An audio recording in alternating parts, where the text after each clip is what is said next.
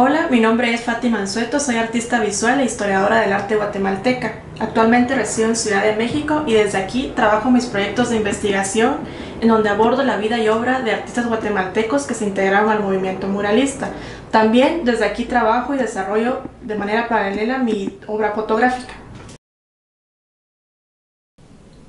¿Por qué es tan difícil reconocer la obra de mujeres artistas latinoamericanas?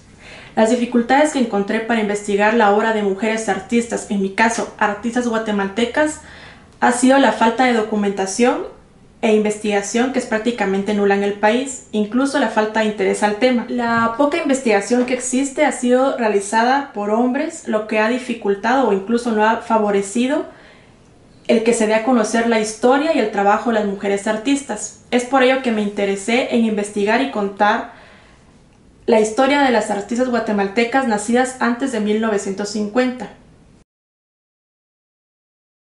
Considero que no existe una diferencia en la mirada de la mujer en el ejercicio de su oficio. Por ejemplo, la obra mural de Rina Lazo, quien se hacía llamar a sí misma muralista mesoamericana, y la obra mural de Ana María Solar Segovia, ambas su temática está basada en los pueblos originarios, en el legado de los pueblos mesoamericanos.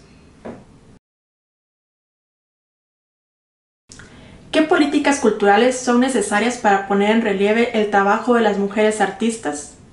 Bueno, en el contexto guatemalteco es bastante difícil ya que los espacios institucionales son sumamente escasos, al igual que las escuelas y academias de arte.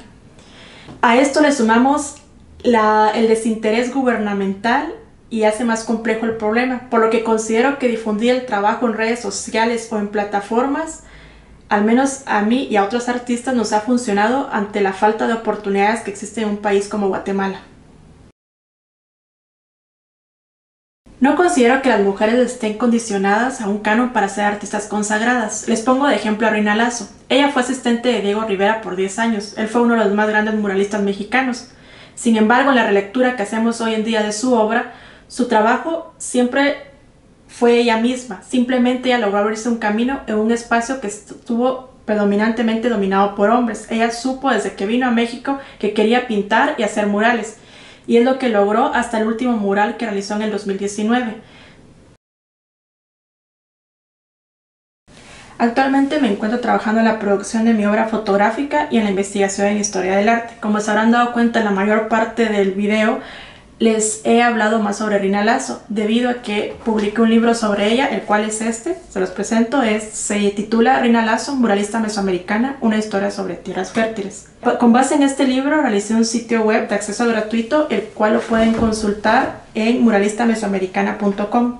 El fin del libro, así como del sitio web, es visibilizar al artista y crear una fuente de consulta. Así como este proyecto, me encuentro trabajando con demás artistas de origen guatemalteco y espero un futuro por eso los mostrar.